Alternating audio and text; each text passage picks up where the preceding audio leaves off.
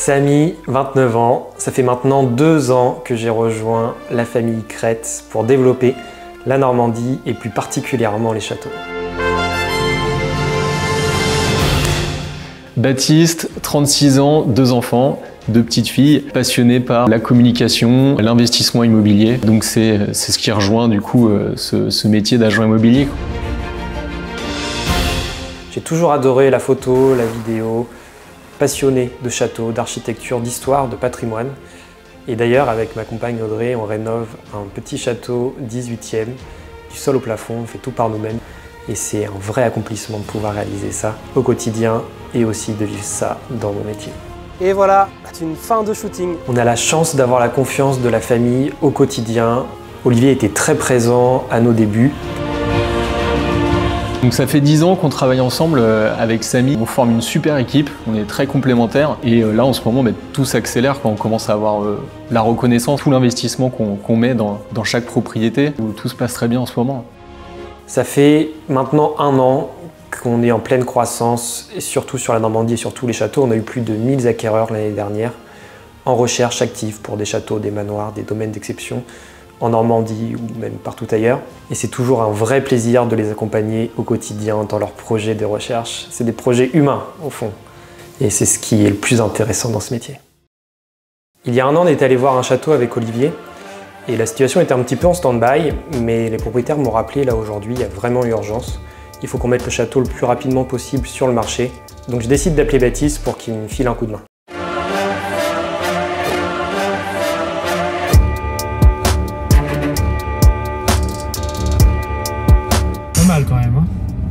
Ouais, là c'est bien. La façade est nickel. C'est beaucoup de cachets, bon, dommage qu'on n'a pas la météo avec nous.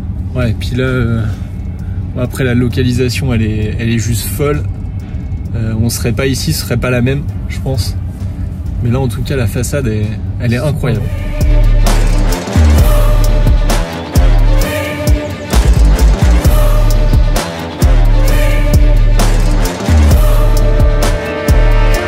Toujours une sensation particulière de, rentrer en fait dans une nouvelle propriété, de, voir la propriété. Là, on passe le portail, on découvre un magnifique jardin à la française. Euh, bon, là, la météo est pas du tout avec nous, mais, mais on va donner le maximum pour, pour faire ce shooting.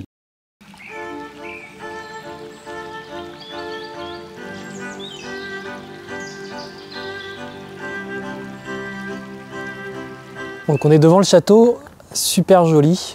Euh, c'est assez étonnant parce que il a été édifié au XXe siècle, début du XXe, dans les années 1900, par un riche industriel. Et on pourrait croire que c'est 18e, c'est une copie du 18e, et ça ressemble beaucoup au château de Champlâtreux, qui est juste à côté. On a notamment euh, les colonnes doriques. On a un gros fronton triangulaire typique euh, du 18e. Et la copie est très très bien faite. Donc je pense que la personne qui a fait euh, construire ce château devait avoir vraiment beaucoup d'argent. Souvent, c'était des riches industriels au 20e. Et surtout, ce qui fait de la grosse valeur ce château ici, c'est l'emplacement. On est à seulement 30 minutes de Paris, on est au nord de Paris. On est à 15 minutes de Paris, Charles de Gaulle. Donc pour les étrangers qui, sont, euh, qui arrivent en France euh, à Charles de Gaulle, c'est parfait. Et pour se rendre à Paris, on peut le faire en voiture, en transport. Donc la localisation ici est incroyable. Et on a 14 hectares de parc.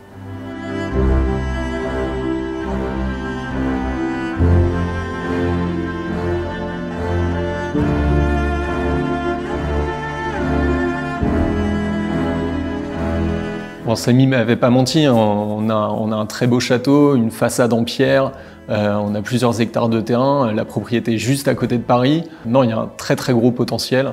J'ai hâte de découvrir les intérieurs.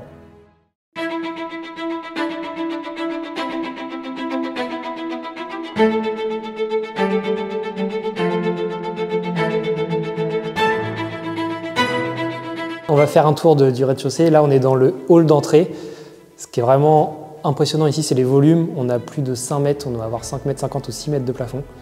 Les pièces sont vraiment très très grandes, très imposantes.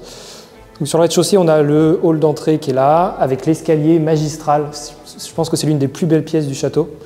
On a eu une petite échauguette qui est tout en haut ici, qui servait à l'époque au 18e d'apparat, donc c'est vraiment une très belle copie ici.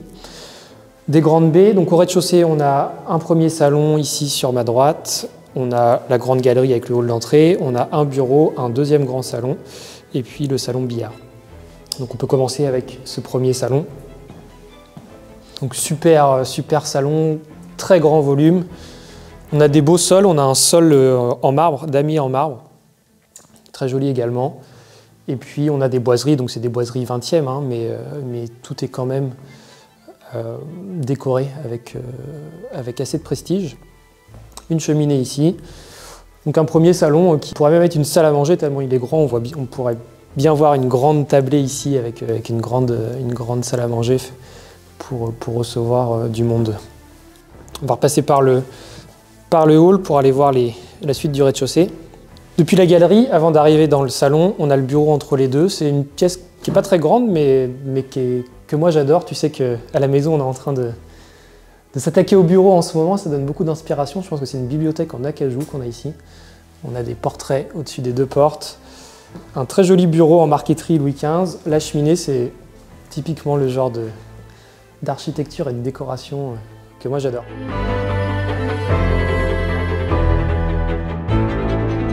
Euh, donc l'agencement, euh, tout, tout, y est, tout est bien. On a, on a de belles pièces, on a, on a de beaux volumes. Pour l'instant, les travaux, je trouve que c'est raisonnable. J'ai pas encore vu les étages, on verra, on verra ce que ça donne. Non, tout y est. On a juste envie là, c'est d'allumer un petit feu, de se mettre à travailler dans cette belle bibliothèque. J'ai hâte de voir, hâte de voir la suite, mais euh, voilà, pour l'instant, il y a, y a un beau potentiel.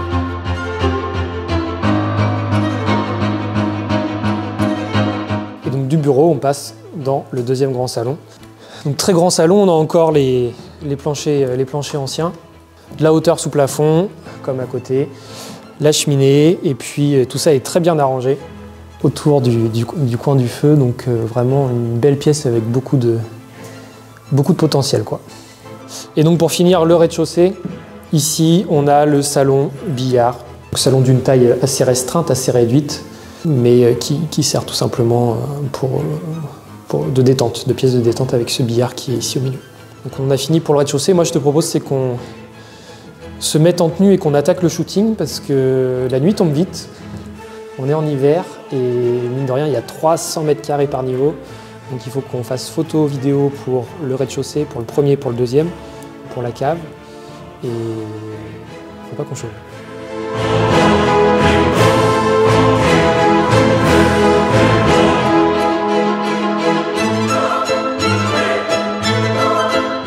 Des châteaux, hein, pas des tiny house, donc on est habitué, c'est souvent très grand, et là j'ai vraiment besoin de baptiste pour qu'on se mette au travail le plus rapidement possible avant que la nuit tombe.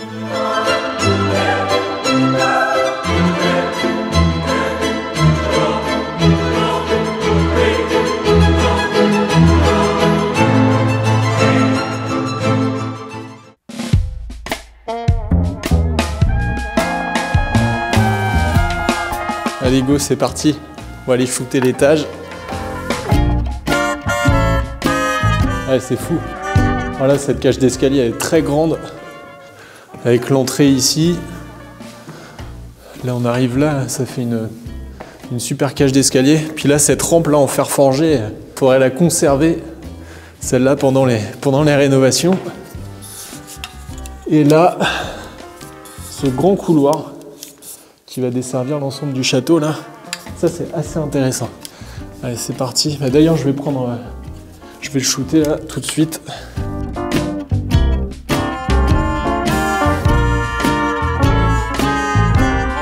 Juste là. Ici, tout est à rénover. Hein. Donc, une salle de bain ici, la chambre. Et donc, la chambre, tac, c'est parti.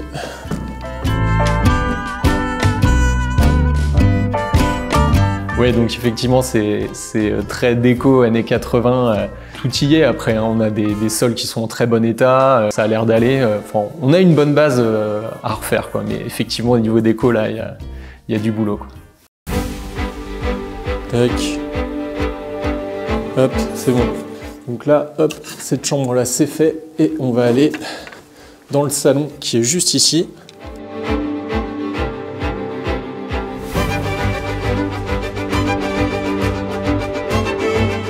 On va s'installer ici pour avoir le plus de recul possible. Ouais, à la limite, on va faire une, on va faire une petite pause juste pour vous expliquer. Euh, donc comment on travaille, c'est simple. on fait shooting, shooting photo, euh, en général objectif 24 mm, comme ça on a la vue de l'œil, on ne déforme pas les pièces, euh, pas de manière excessive et on représente au maximum le volume. Ensuite ça passe en post-traitement, on retouche l'ensemble de nos photos, non pas pour qu'elles trompent la réalité, mais plus pour mettre en évidence l'ensemble des éléments des différentes pièces. Suite aux photos, on filme vertical, horizontal, pour pouvoir partager à la fois sur les réseaux YouTube, Instagram, euh, TikTok, voilà tous les réseaux sociaux possibles. Donc on va aller au bout de cet étage. Il y a une chambre qui est assez sympa à aller visiter. Voilà, ici il y a une petite chambre qui est, assez sympathique.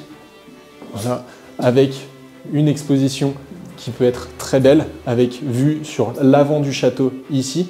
On l'a vu, on a une très très belle entrée et ici une nouvelle fenêtre et une deuxième chambre juste là. On va pas avoir beaucoup de lumière pour pouvoir aller dans cette chambre, mais en tout cas, elle est filmée, vous allez les voir en plan de coupe. Une chambre ici et une salle de bain attenante, voilà, ainsi qu'un petit couloir. Donc là, on se retrouve de nouveau dans la cage d'escalier. Donc, ce qui est important en fait pour nous, c'est de faire des dossiers très complets. On est reconnu pour ça on, donne toutes les informations à nos clients et c'est pour cette raison que l'on fait autant de photos, que l'on fait les reportages nous-mêmes et les reportages vidéo, c'est pour donner le plus d'informations possible à nos potentiels acquéreurs. Nos clients apprécient cette démarche, comme ça, même au niveau des visites, on a beaucoup plus de visites qualifiées et surtout les personnes quand ils viennent, c'est souvent pour valider un achat plutôt que de découvrir le lieu. On a vu la chambre tout à l'heure hein, sur la première pièce que j'ai shootée de, ce premier étage avec sa salle de bain. Et ici, on va avoir une petite salle à manger exposée vers l'arrière du château, une salle à manger et une cuisine juste là. Petite cuisine possible ici avec sa petite pièce également pour pouvoir prendre le repas directement ici plutôt que de prendre euh, le repas directement dans la salle à manger ou dans la grande salle. Et on se retrouve de nouveau ici dans notre pièce sur laquelle on a débuté la visite de cet étage.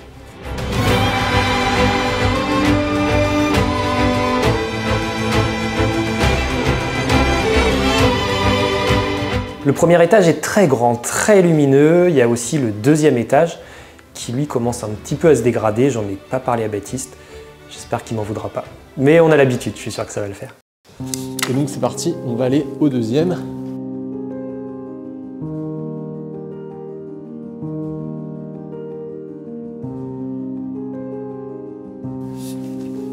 Tac. Allez. Hop.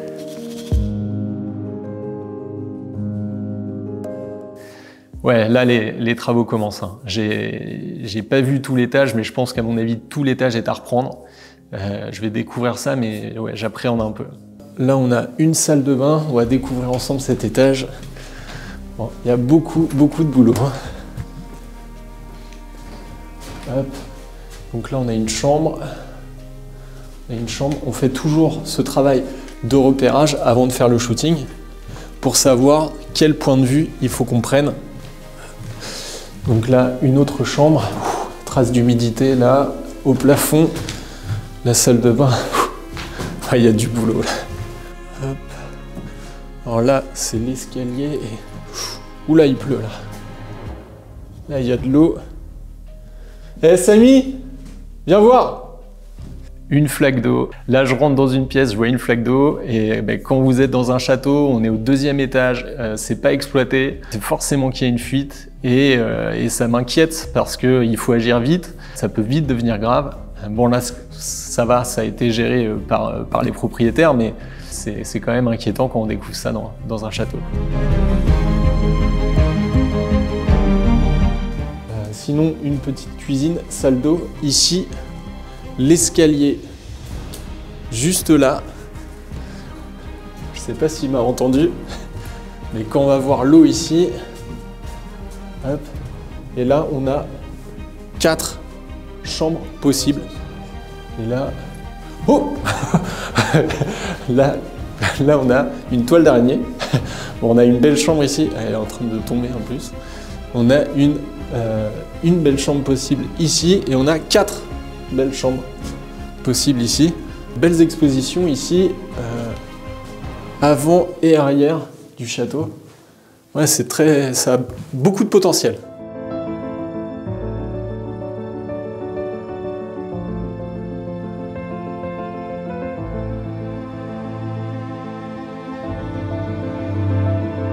Ça nous aura pris finalement toute la journée pour faire photo vidéo, les cartes mémoire sont pleines. J'ai hâte de voir ce que ça va donner.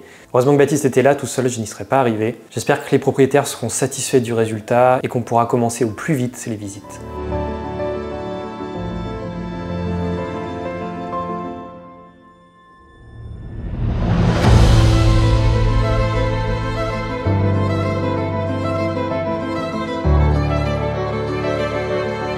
On a fini la visite du château, on a fait le tour, on a fait le tour des 1000 mètres carrés ici, vous vous rendez compte, on a la cave, les trois niveaux. L'architecture est vraiment très jolie. Moi j'adore, c'est une belle copie du 18e, même si ça a été fait un petit peu plus tard. Il y a beaucoup de détails. Et ici, vraiment, le gros point fort, c'est l'environnement. On a 14 hectares, on est seulement à une demi-heure de Paris, on est à 15 minutes de Charles de Gaulle. C'est un emplacement qui est très recherché de nos clients. Alors effectivement, il y a une rénovation globale à prévoir. Mais je pense qu'une fois refait, ça pourra vraiment être quelque chose de très très sympa. On espère que cette vidéo vous aura plu, c'est un format un petit peu différent. Et puis bah, nous, de notre côté, maintenant, il va falloir qu'on s'active, qu'on traite tout ce qu'on a pu capturer parce que les propriétaires sont vraiment très pressés. Ils nous ont fixé un gros challenge, c'est de pouvoir le vendre très rapidement. Donc on vous donnera des nouvelles dès que ça sera un petit peu plus avancé.